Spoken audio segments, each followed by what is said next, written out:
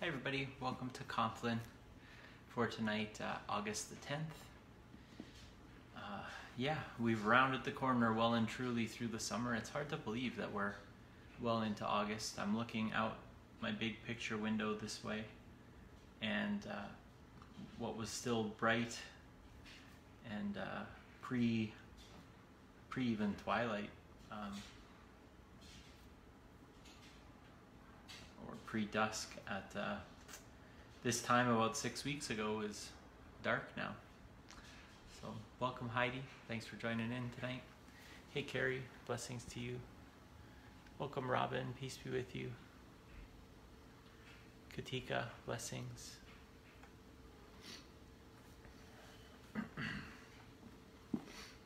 Uh, so tonight our we have another long psalm. We're I haven't. This is one of the neat things when you um, read in fairly quick succession through an entire book of the Bible. You notice things that you don't when you're just dabbling here and there. And uh, I'd never noticed this section of long psalms, kind of going back to. Yeah, really to, to Psalm 102. Um, tonight's another long one in 1, 107. And then we're back to some shorter ones as we inch up to the longest psalm, um, the longest chapter in the Bible, Psalm 119. Uh, yeah. So we're training, I guess, for that marathon. Welcome, PD. Yeah, I was just speaking with my my mom. So, PD, thanks for the the hard to call it praise uh, report, just because we know Donna is in rough shape. But uh, everyone, I just want you to know that uh, the woman that we prayed for last night, who had been missing for 30 hours on her property um, near Strathmore, was found alive. Um, she was hypothermic and dehydrated, so it sounds like an issue where an older person who has maybe a little bit of dementia um, got turned around and lost. And so we're just so thankful for that answer to prayer that the, those who sought found. Um, hallelujah for that. Thanks for that good news, PD. And we'll continue to hold up Donna and her family as they go through the next steps of this ordeal.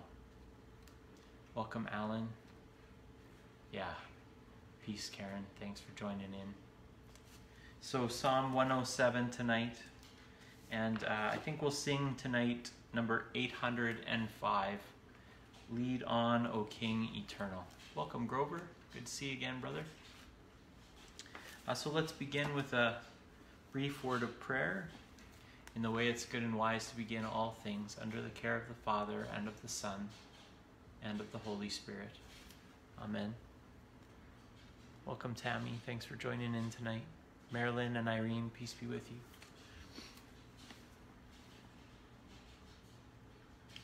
Gracious and holy God, give us diligence to seek you, wisdom to perceive you, and patience to wait for you. Grant us, O God, a mind to meditate on you, eyes to behold you, ears to listen for your word, and a heart to love you, and a life to proclaim you through the power of the Spirit of Jesus Christ, our Savior and our Lord. Amen.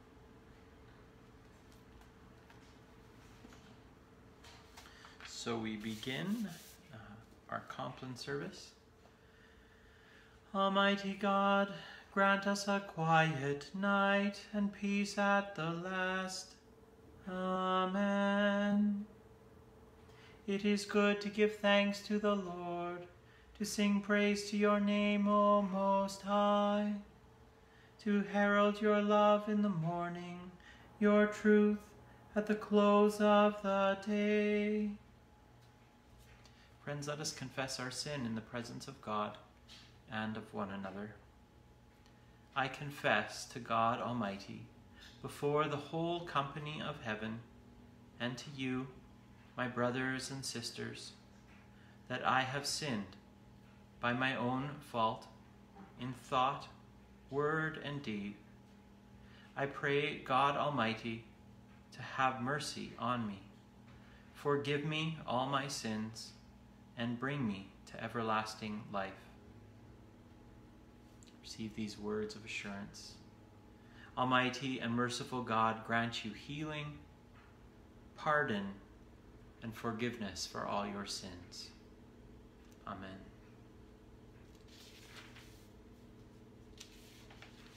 Psalm 107. Give thanks to the Lord, for the Lord is good, for God's mercy endures forever. Let the redeemed of the Lord proclaim that God redeemed them from the hand of the foe, gathering them in from the lands, from the east and from the west, from the north and from the south. Some wandered in desert wastes. They found no path to a city where they might dwell. They were hungry and thirsty. Their spirits languished within them. And then they, in their trouble, cried to the Lord, and you delivered them from their distress. You led them on a straight path to go to a city where they might dwell. Let them give thanks to you, O Lord, for your steadfast love and your wonderful works for all people. For you satisfy the thirsty soul and fill the hungry with good things. Some dwelt in darkness and gloom, prisoners in misery and irons, because they rebelled against the words of God and despised the counsel of the Most High. So you humbled their hearts with hard labor. They stumbled, and there was none to help. Then, in their trouble, they cried to the Lord, and you delivered them from their distress. You led them out of darkness and gloom, and broke their bonds asunder.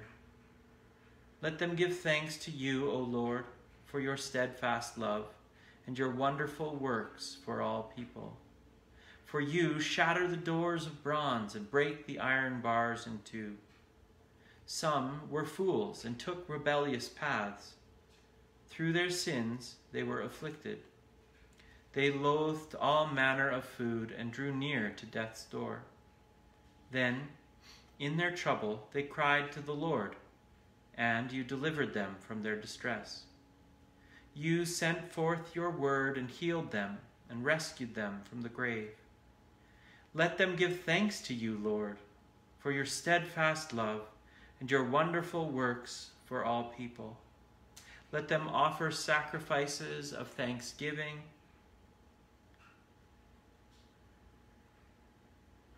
and tell of your deeds with shouts of joy. Some went down to the sea in ships, plying their trade in deep waters. They beheld the works of the Lord, God's wonderful works in the deep. And then God spoke, and a stormy wind arose, which tossed high the waves of the sea. They mounted up to the heavens and descended to the depths. Their souls melted away in their peril. They staggered and reeled like drunkards, and all their skill was of no avail. Then in their trouble they cried to the Lord, and you delivered them from their distress. You stilled the storm to a whisper and silenced the waves of the sea. Then, then were they glad when it grew calm, when you guided them to the harbor they desired. Let them give thanks to you, Lord, for your steadfast love and your wonderful works for all people. Let them exalt you in the assembly of the peoples, in the council of the elders. Let them sing hallelujah. You change rivers into deserts and water springs into thirsty ground, fruitful land into salty waste because of the wickedness of those who dwell there.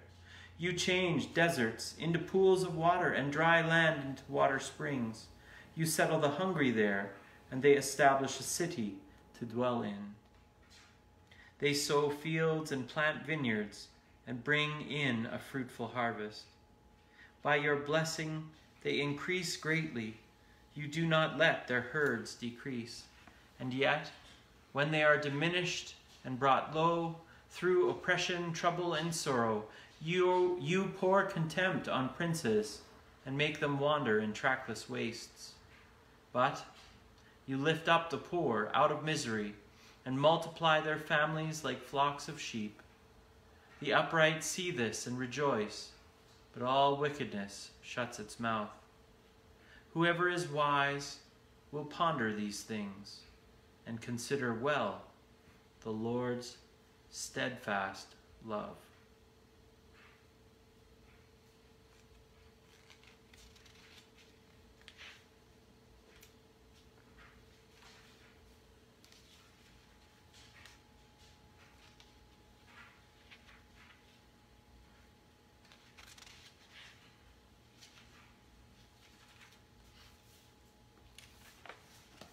Let's sing together, Lead on, O King Eternal.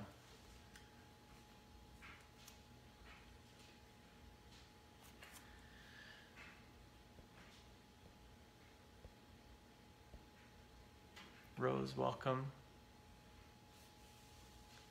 Karen says, I always like the pattern of this psalm, one story after another, especially the story about those who went down to the sea in ships.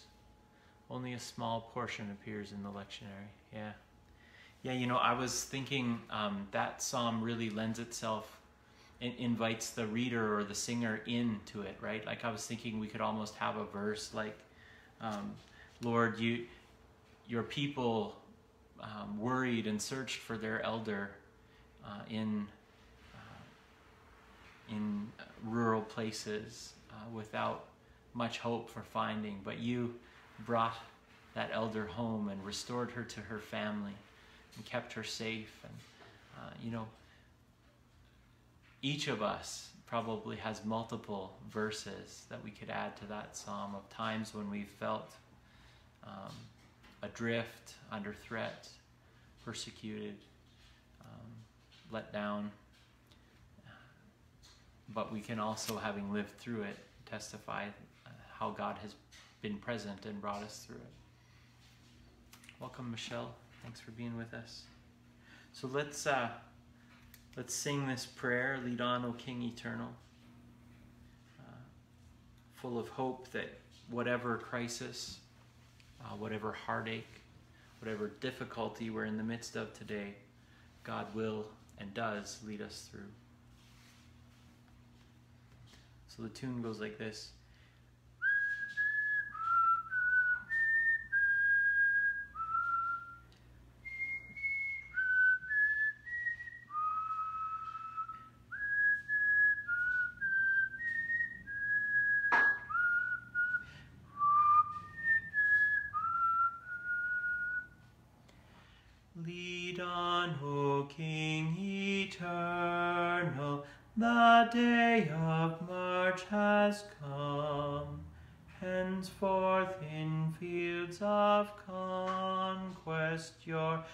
Tents will be our home. Through days of preparation, your grace has made us strong. And now, O King eternal, we lift our battle song. Lead on, O King eternal, till sin's fierce war shall cease and holiness shall whisper the sweet Amen of peace.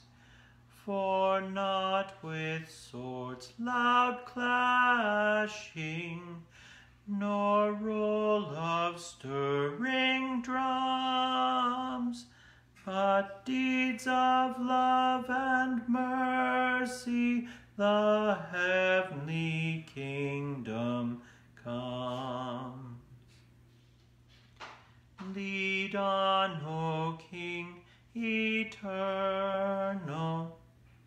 We follow not with fears, for gladness breaks like morning where'er your face appears. Your cross is lifted o'er us, we journey in its light. The crown awaits the conquest lead on, O God of might.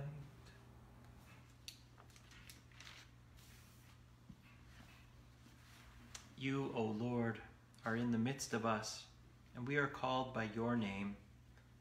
Do not forsake us, O Lord our God. Jesus says in Matthew 11, Come to me, all you that are weary, and all who are carrying heavy burdens, and I will give you rest. Take my yoke upon you and learn from me, for I am gentle and humble in heart, and you will find rest for your souls. For my yoke is easy and my burden is light. And Paul says in 2 Corinthians 4 It is the God who said, Let light shine out of darkness, who has shone, shone in our hearts to give the light of the knowledge of the glory of God in the face of Jesus Christ. But we have this treasure in clay jars, so that it may be made clear that this extraordinary power belongs to God and does not come from us.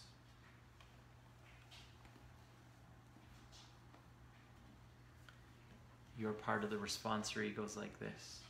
Into your hands I commend my spirit. Into your hands I commend my spirit. Into your hands, O Lord, I commend my spirit. Into your hands I commend my spirit. You have redeemed me, O Lord God of truth.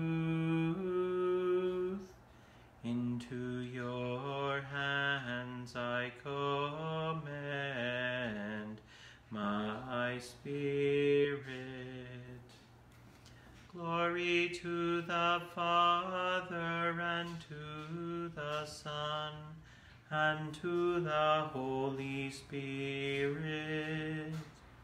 Into your hands I commend my spirit.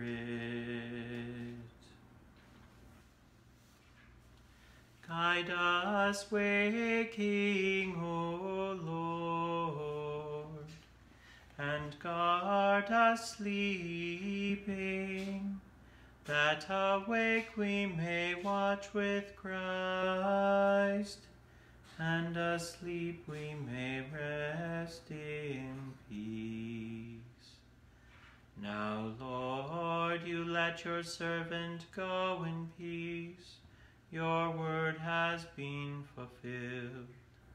My own eyes have seen the salvation which you have prepared in the sight of every people, a light to reveal you to the nations, and the glory of your people Israel.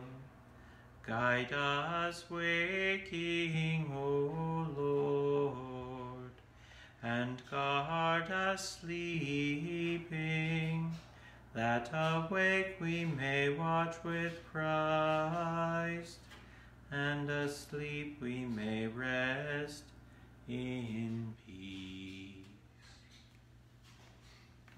Friends, for what and for whom shall we pray for this night? Hear my prayer, O Lord. Listen to my cry. Keep me as the apple of your eye. Hide me in the shadow of your wings. In righteousness I shall see you. When I awake, your presence will give me joy.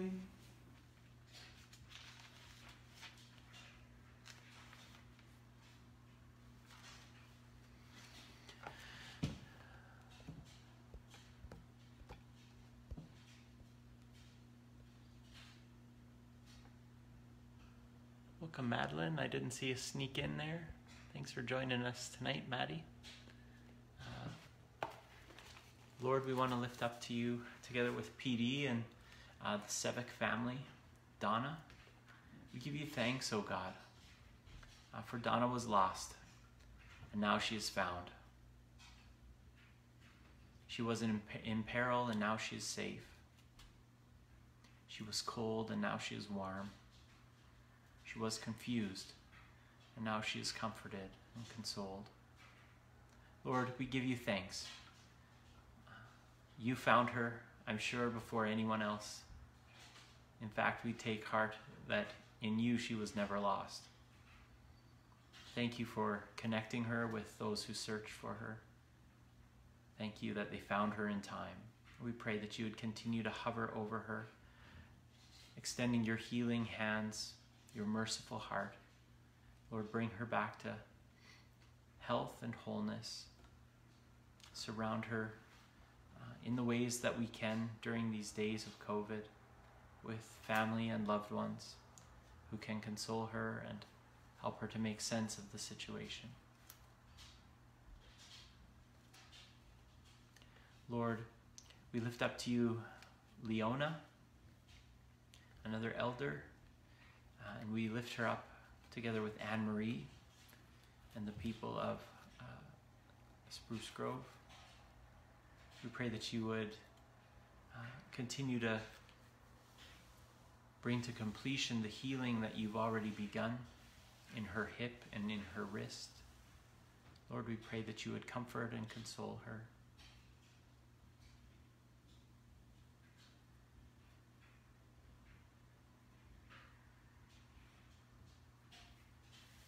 Pray for the Lance family, that you would continue to draw them together and teach them it's okay to lean on one another uh, and to laugh when they need to laugh and cry and weep when they need to do that. Pray that you would continue to surround them with ample care and support. And through them, we pray, Lord, for all who grieve in these days, more than in recent memory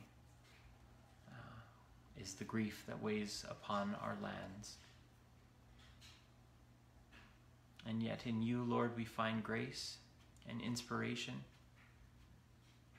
to trust and to hope, and not to become so preoccupied with our own difficulties that we uh, forget to attend to the difficulties of others. And so we lift up to you the people of Beirut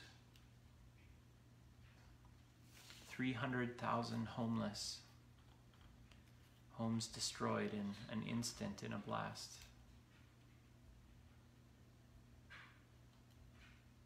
Jesus, you know what it's like uh, to have no place to rest your head. Jesus, many there, and indeed closer to home, uh, hunger and thirst. And you say that you are the bread of eternal life and that you have water to offer, that when we drink of it, we shall never thirst again. Lord, we pray that all would know this amazing grace, this beautiful truth. We lift up to you our care agencies, the Canadian Food Grains Bank, Canadian Lutheran World Relief, the ACT Alliance, and so many others doing good work, Lord on the ground in Lebanon and around the world.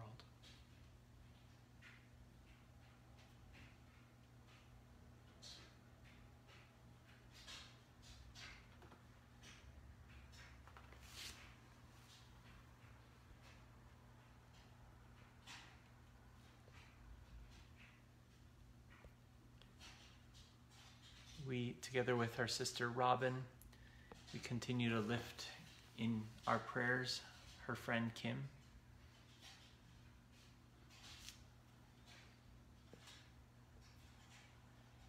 We give you thanks for each small grace.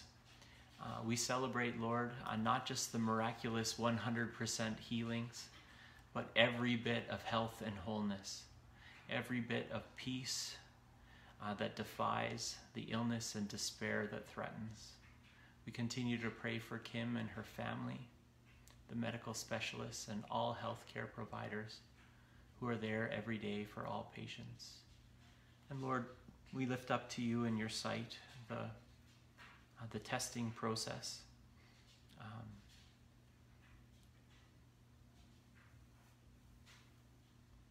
uh, for blood testing and, uh, and bone marrow testing, Lord, that uh, Kim holds out hope for a possible stem cell treatment. Lord, we pray that a match would be found.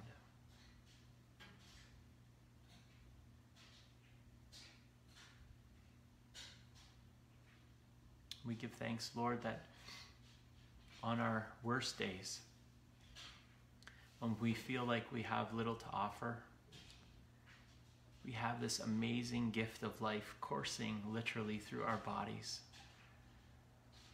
And we have power and agency to share that gift of life with others.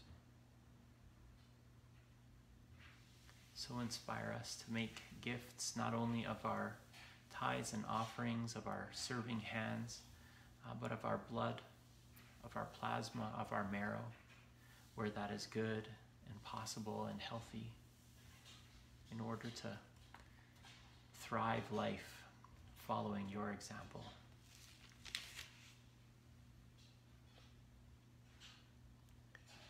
Pray together with Tammy for Charlie's family. We lift up to you his sister Agnes and all who grieve for Charlie. Mm-hmm. Lord, amidst the storm of grief, we pray for grace to ride it out. We thank you for standing alongside us in times of sadness. We trust you, O Lord to bring us through.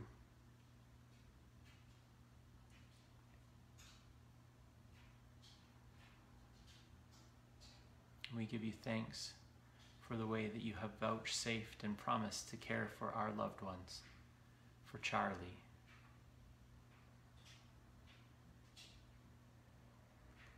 This gives us consolation and the hope we need, Lord to continue to walk through the valley of the shadow of death, fearing no evil, following your voice, your step, your light.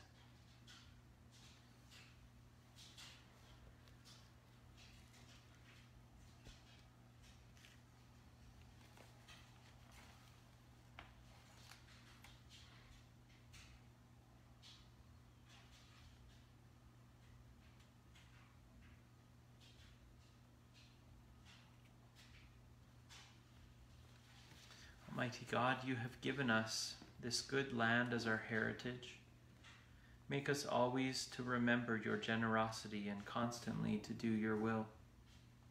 Bless our lands with honesty in the workplace, truth in education, honor in daily life, integrity from our public officials. Save us from violence, discord, confusion, and injustice. Save us from pride and arrogance and from every evil course of action. When times are prosperous, let our hearts be thankful, and in troubled times, do not let our trust in you fail. We pray in the name of Jesus Christ our Lord. Amen. Holy Trinity, one God, you show us the splendor of diversity and beauty of unity in your own divine life. Make us, who came from many nations with many languages, a united people that delights in our many different gifts.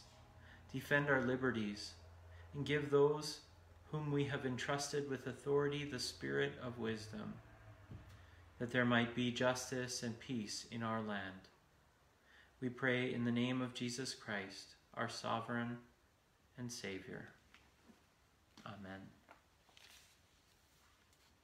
Be present, merciful God, and protect us through the hours of this night, so that we who are wearied by the changes and chances of life may find our rest in you.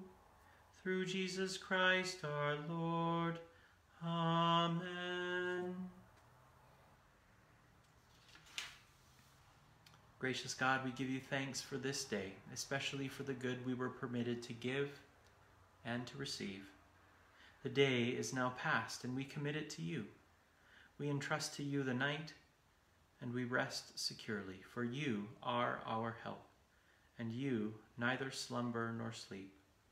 Through Jesus Christ our Lord, who teaches us to pray, Our Father in heaven, hallowed be your name.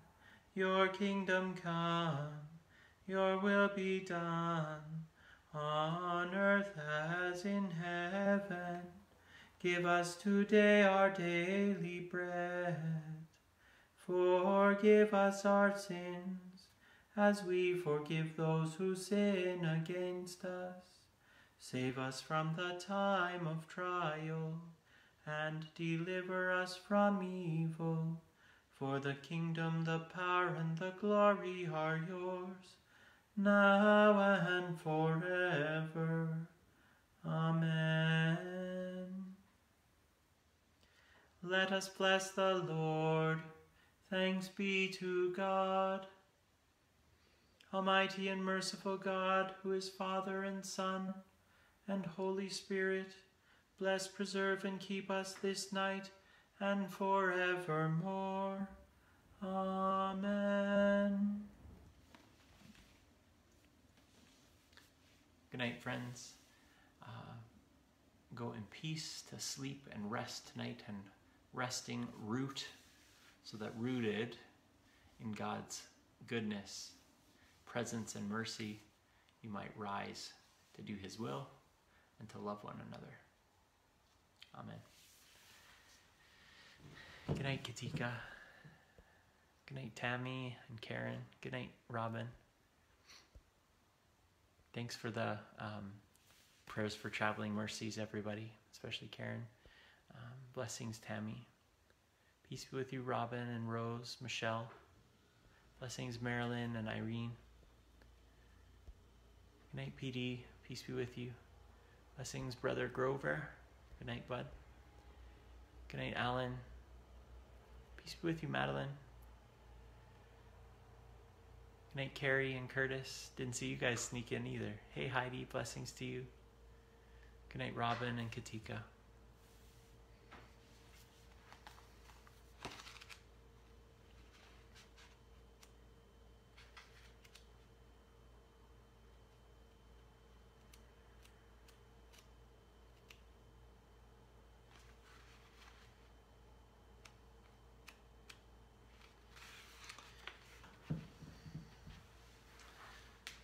For your bedtime story, chapter 10 of C.S. Lewis's The Great Divorce.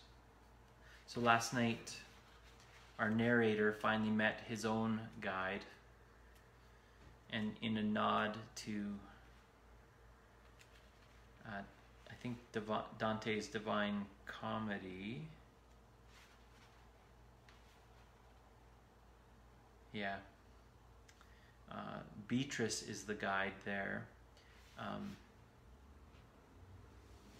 C.S. Lewis has uh, tapped another poet, George MacDonald, as his guide into the land of the light. So we heard a lot of that Scottish brogue last night. Chapter 10. This conversation also we overheard. That is quite, quite out of the question, said a female ghost to one of the bright women. I should not dream of staying if I'm expected to meet Robert. I'm ready to forgive him, of course, but anything more is quite impossible. How he comes to be here, but that is your affair.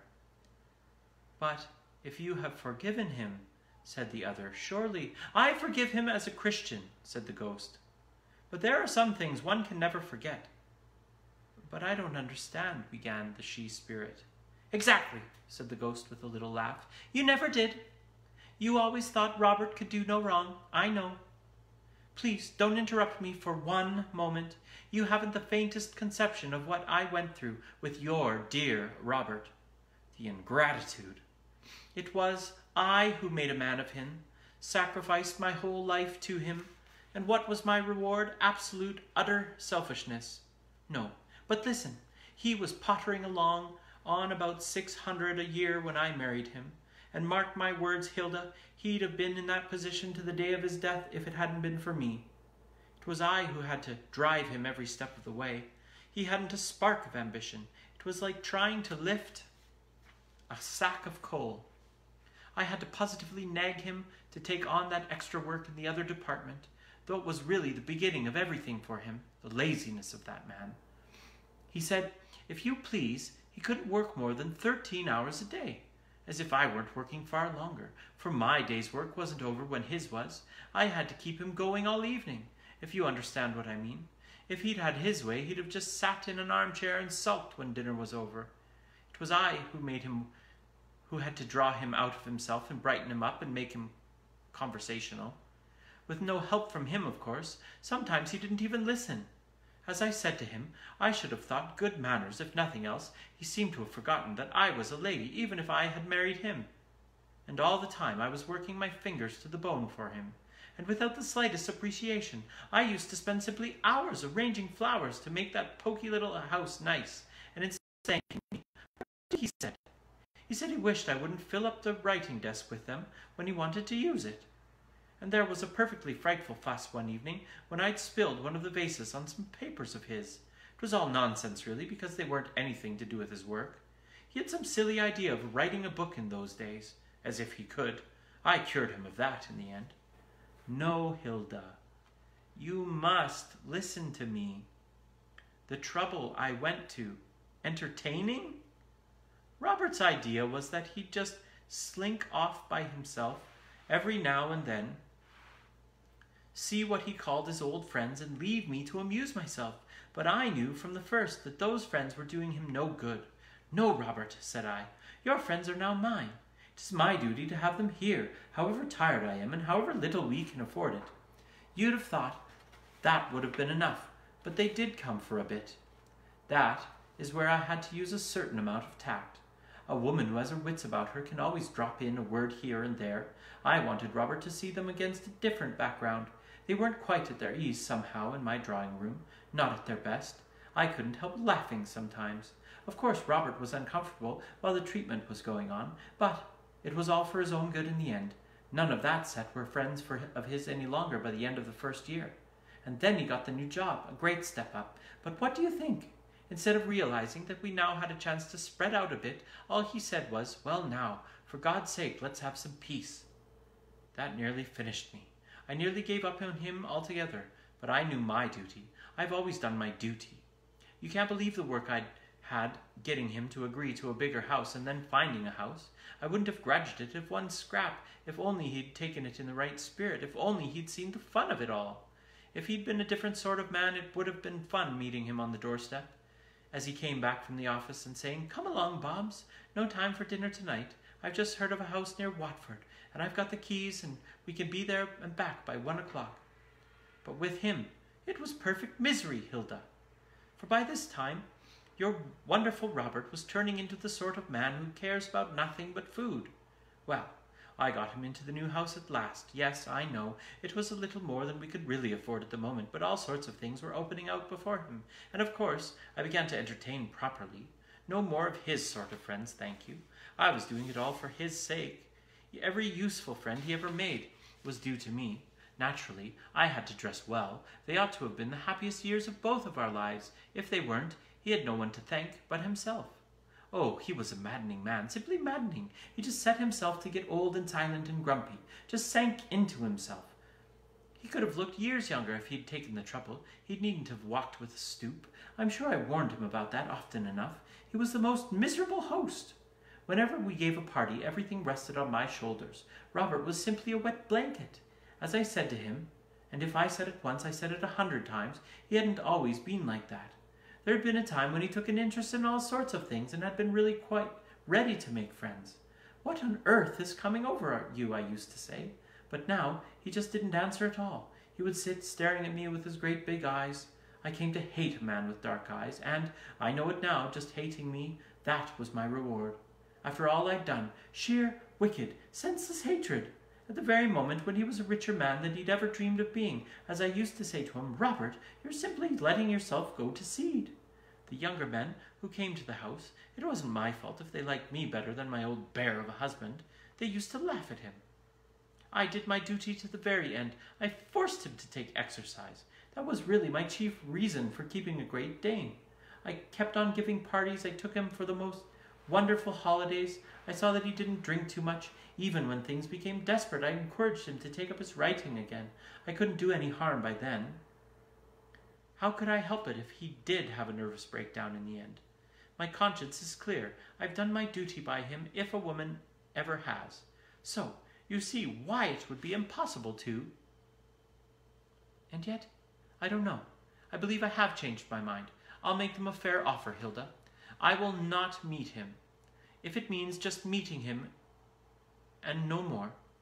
But if I'm given a free hand, I'll take charge of him again. I will take up my burden once more, but I must have a free hand. With all the time one would have here, I believe I could still make something of him. Somewhere quite to ourselves. Wouldn't that be a good plan? He's not fit to be on his own. Put me in charge of him. He wants firm handling. I know him better than you do. What's that? No. Give him to me. Do you hear? Don't consult him. Just give him to me. I'm his wife, aren't I? I was only beginning. There's lots, lots, lots of things I still want to do with him. No, listen, Hilda. Please, please, please. I'm so miserable. I must have something to do. It's simply frightful down there. No one minds at all about me. I can't alter them. It's dreadful to see them all sitting about, not being able to do anything with them. Give him back to me. Why should he have everything his own way? It's no good for him. It isn't right. It's not fair. I want Robert. What right have you to keep him from me? I hate you. How can I pay him out if you won't let me have him? The ghost, which had towered up like a dying candle flame, snapped suddenly. A sour, dry smell lingered in the air for a moment, and then there was no ghost to be seen.